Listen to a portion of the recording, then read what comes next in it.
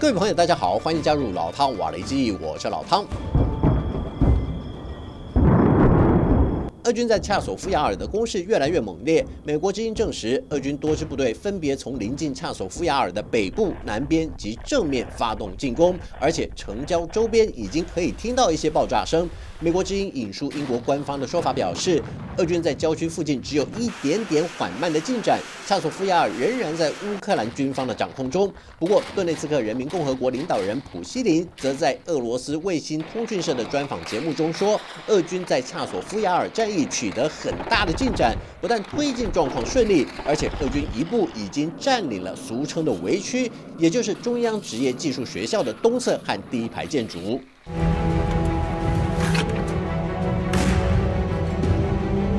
俄罗斯国防部公布消息，声称正面主攻的第九十八空降师三三幺团，在远程火力和空天军的密集支援下，迫使乌军第一线部队撤回城内，继续巩固防线。另外，在北部的战线方面，俄军第两栋的摩步旅已经占领博达尼夫卡，继续往卡利尼娜方向推进。值得注意的是，南面的攻势，俄军宣称控制伊万尼斯夫克之后，在此地活动的两支部队——第十一近卫空突旅和第七志愿突击旅，再度传出捷报，两支部队密切配合，夺下了乌克兰第五突击旅防守的巴巴山高地。高地的失守对恰索夫亚尔防线影响很大，因为俄军可以从这里进入森林地带，威胁恰索夫亚尔的东南面。而且在这个方向主攻的第七志愿突击旅，前身就是赫赫有名的瓦格纳佣兵团，在前领导普里格金失事后，就被编入俄军正规单位中，并且赋予新的部队番号，继续在巴赫姆特一带作战。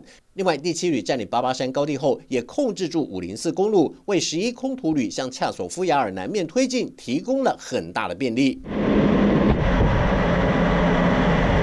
俄国官媒《俄罗斯报》指出，进攻部队已经透过多种联系方式，要求乌克兰守军不要再做无谓的抵抗，立即放下武器投降，否则将会遭到导引式航空炸弹的精准攻击。俄军还不断加强对乌军的心理作战，一直更新乌军在前线的阵亡人数，从每天的三百多人增加到近六百人，试图借此打击乌军的士气，挑起前线部队的厌战情绪。据称，乌军有少数官兵已经逃离据点。打扮成普通居民撤出当地，不过传闻并没有得到证实，而且英国政府的说法称乌军的防守很严密。美国智库战争研究所的评估认为，俄罗斯强攻恰索夫亚尔的目的是要攻击乌克兰腹地中战略地位极度重要的堡垒城市，由南向北包括康斯坦丁诺夫卡、德鲁士科夫卡。以及互为双子城的克拉马托尔斯克和斯拉夫扬斯克，如果战争研究所的研判没有出现太大误差的话，那么当俄军攻下斯拉夫扬斯克之后的目的就非常明显：一边可以往东北方打破红利曼的僵持局面，另一边能够剑指西北方的伊久姆，也让俄军拥有不一样的战略选择和战术应用。尽管无法揣测普京内心的想法，但是这片区域都是开战前期曾经被俄军控制过的城市。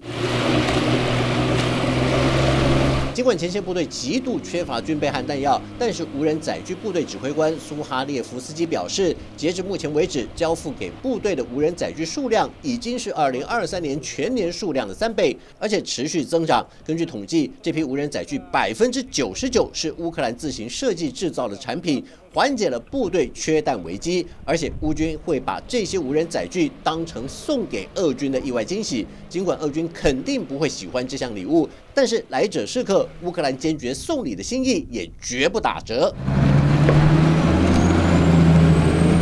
另一方面，战略工业部长卡梅辛也表示，乌克兰军工复合体在二零二三年为国内生产总值提供了很大的贡献。尽管乌克兰政府无法买下所有国产武器，但是战略工业部正在寻找海外的合作伙伴及潜在买家，希望能为乌克兰的自制军备找到销售管道，同时为国家创造更多外汇。与此同时，荷兰又向位在罗马尼亚的欧洲 F 十六训练中心移交了三架战机，其中一架双座型战机还是由荷兰空军总司令施泰尔亲自驾驶。根据协议显示，荷兰需要交付十八架 F 十六战机给这座中心。截至目前为止，荷兰已经移交了十一架，剩下的七架会在未来几个月内完成交付。荷兰国防部长奥隆格伦表示，荷兰从未中断对乌克兰的支持，也一直提高支持乌克兰的力量，包括弹药和无人机的援助、F 十六战机飞行员的训练工作，来强化乌克兰的空防能力。The target is to start this summer delivering actual planes. Yes. Uh, we don't uh, disclose the exact numbers of pilots uh, being trained, uh, but we have a schedule with our partner countries, uh, Denmark, Norway, on the delivery of the planes, and we hope to start this summer, uh, and we hope to see the first Dutch planes going there in the autumn. 乌克兰装甲车不断穿梭在恰索夫亚尔城内，显见这里的战事确实非常紧急。但是有部分俄罗斯军事观察家认为，俄军需要提高警觉的一点，就是西方媒体不再报道乌克兰在哪些地区取得战果，而是开始报道前线乌军因为缺乏弹药和兵员补充，造成部队士气低落，并且在多个战线上失去据点，已经从前线撤守的新闻。而且泽伦斯基一直释放讯息，声称西方的援助大小眼，对乌克兰就设下许多限制。然而给以色列的协助却是直接又迅速。乌克兰在这种有一搭没一搭的军援下，眼看就要输掉战争了。但是俄国专家认为，泽伦斯基就是利用这种落差来形塑乌克兰的弱势形象。如果基辅真的捉襟见肘到这种地步，该如何解释乌克兰的军工复合体可以在战争期间是怎？怎样为国家 GDP 提供的贡献？其次是乌克兰目前在东部战役上的失利，被形容成某条战线就快要崩溃。事实上，乌军依旧在战线上执行部队轮替作业，显然乌克兰并没有衰弱到不堪一击的程度。唯一可以解释的是，泽伦斯基的爱兵政策已经奏效。不但德国宣布要捐赠更多爱国者防空系统给乌克兰，就连美国众议院都通过了六百一十亿美元的援助方案。而且有消息指称，五角大厦为乌克兰准备好的大批军备，不到一个星期就能够把部分弹药运到乌克兰。到时候乌军就不需要再勒紧裤带，每发射一发炮弹都要考虑再三，而是可以尽情回击俄军的攻势，一吐积压好长时间的。怨气。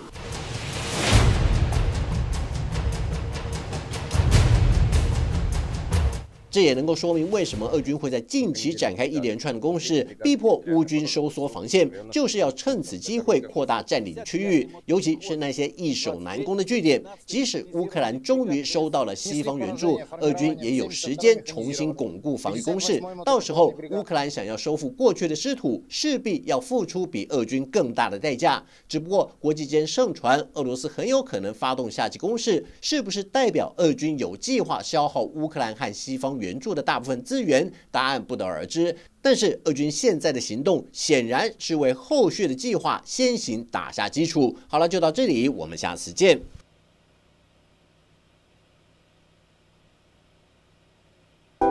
想看最完整的新闻内容，记得下载 TVBS 新闻网 APP。